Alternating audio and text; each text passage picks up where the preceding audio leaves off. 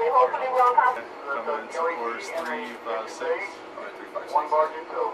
Bridge, morning, morning, lady, international.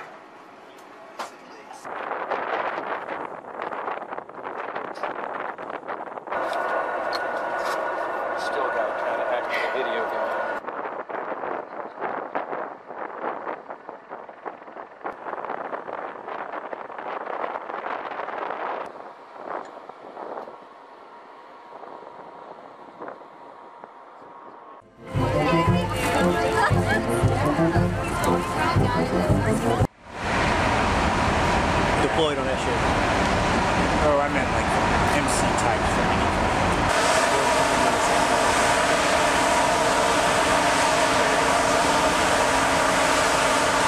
So, are you guys gonna like? I guess open. What do you mean? Like, if you use fancy team. Sure, we are. Oh, uh, I'm sure. that-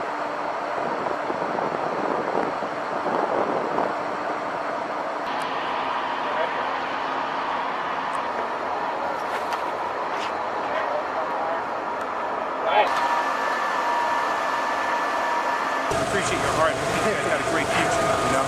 If they win, you're gonna go, hey, we think you're the greatest. You guys by uh,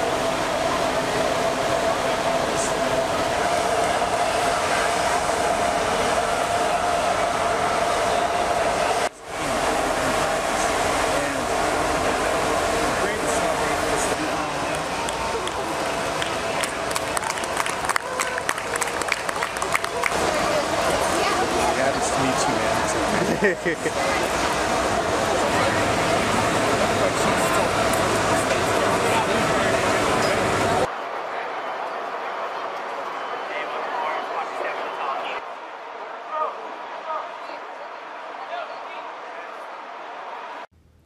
are here in Littoral Combat Country to learn more about the LCS program.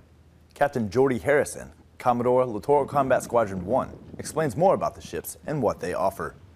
LCS are designed to be a uh, single mission platform that has modularity that can change out uh, where that principal mission set is uh, assigned to.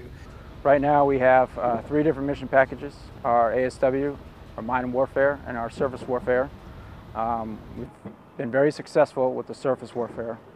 Uh, so the modularity gives us the ability, uh, based upon what the requirements for the mission sets are, uh, to swap out the mission package in, uh, computing environment and the mission package hardware to execute different mission sets uh, throughout the fleet commander's areas of responsibility.